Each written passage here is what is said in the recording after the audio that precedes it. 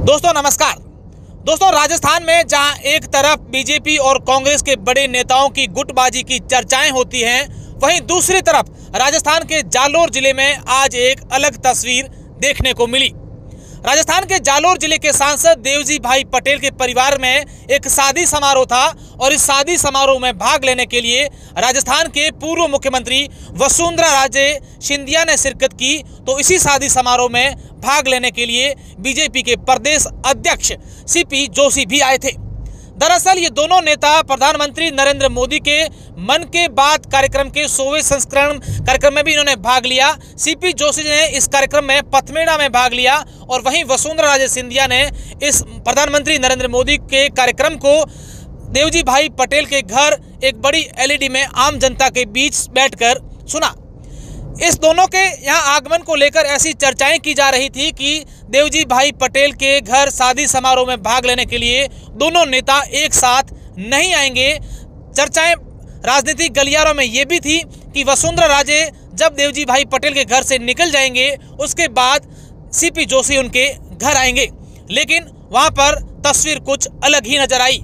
दरअसल वसुंधरा राजे सिंधिया साढ़े दस बजे हेलीकॉप्टर से सांचौर पहुँच चुकी थी और उनके बाद वो देवजी भाई पटेल के घर पहुँची और 11 बजे प्रधानमंत्री नरेंद्र मोदी के मन की बात कार्यक्रम को सुना। वहीं दूसरी तरफ़ उससे सात किलोमीटर दूर पथमेड़ा में सीपी जोशी ने अलग से मन की बात कार्यक्रम को सुना और वहाँ पर भी लोगों की भीड़ सैकड़ों में थी।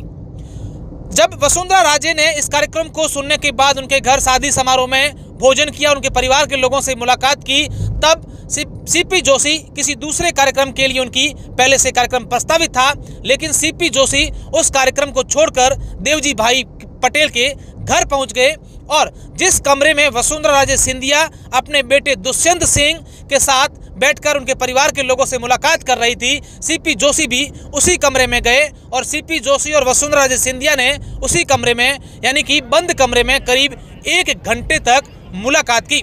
सीपी जोशी और वसुंधरा राजे की मुलाकात के बाद वसुंधरा राजे उस कमरे से बाहर निकल गई, लेकिन उनके बेटे दुष्यंत सिंह सीपी जोशी के साथ लगातार बातचीत करते रहे और ये राजनीतिक गलियारों में मायने लगाए जा रहे हैं। ऐसा बताया जा रहा है कि इस मुलाकात के मायने कुछ और हो सकते हैं।